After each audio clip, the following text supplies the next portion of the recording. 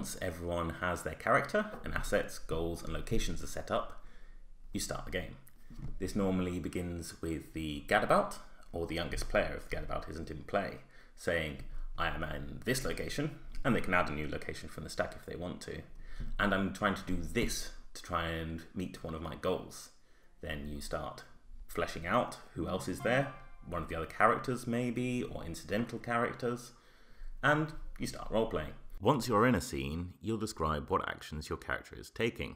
This might be in character, as in, I walk over to Lord Farquhar and say, Did you get my bottle of wine? Or it could be in third person.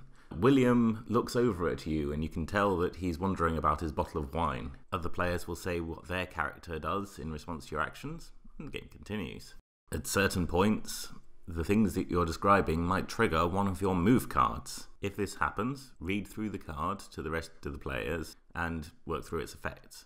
It'll have some effects that are guaranteed, some effects that vary depending on whether you're spending tokens or not, and some effects that other players get input on. To spend a token activating a move, simply take one of your token cards with that symbol on it and place it in your discard pile. If a move tells you to bank a token, simply take the appropriate token card and slide it under the card in question. The card will have conditions for when you can remove those banked cards to get some sort of effect. Once it's become clear that what the focused character is trying to do is either succeeded or failed, the scene winds up. Everyone who's able to advance one of their goals using an asset, theirs or someone else's, takes one of these excellence tokens and banks it underneath the goal, showing how far along they've come. Then, scene framing passes to the next player clockwise. When it's your turn to frame a scene, you get to take all of those move cards in your discard pile and put them back in your hand. Now, the next player can try and frame a new scene where their character tries to do whatever they are thinking of to advance on their goals. Or, if they wish, they could activate their trouble move. This makes their life more difficult and takes them out of the scene. They effectively pass in terms of scene framing. And they narrate how something has caused them issues. For the servant, someone has sent them on an onerous errand. For the gadabout, someone has proposed marriage to them, and obviously that's terrible they complicate their life in such a way. The other players get some input on what this is, and in exchange, that player gets an excellence token of their own to spend. And these count as wild cards, they can be used as any kind of token. Whenever you gain an excellence token, for example, when you use your trouble move or when you meet a goal, you take that excellence token into your hand, take one of your existing deck tokens, and flip it over now you have that move to use in addition to your previous ones.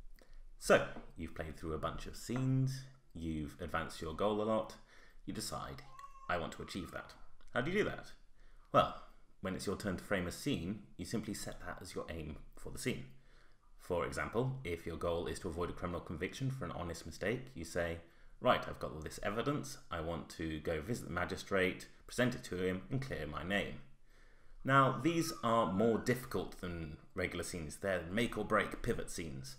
And as part of that, every other player gets to put forward one obstacle that you'll have to overcome in doing so. So maybe the police are already looking for you and they're outside the magistrate's office, or it's raining and some of the handwritten notes that you're using get stained. You need to overcome each of these in order to achieve the goal. Now, to help you in this, you have all those advancement tokens.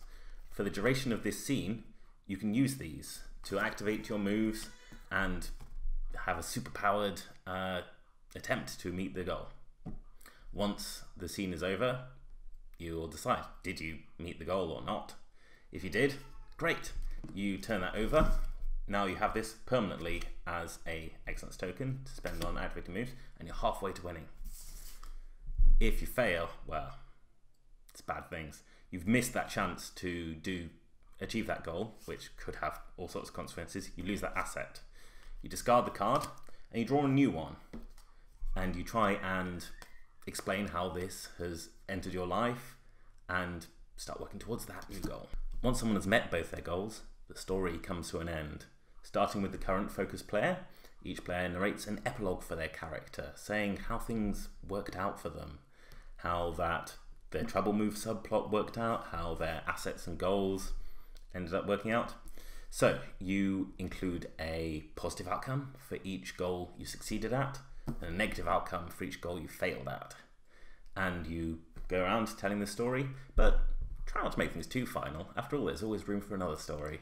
Thanks for watching, and I hope you enjoy the game. Please feel free to send me any questions, comments, reactions that you have. Bye!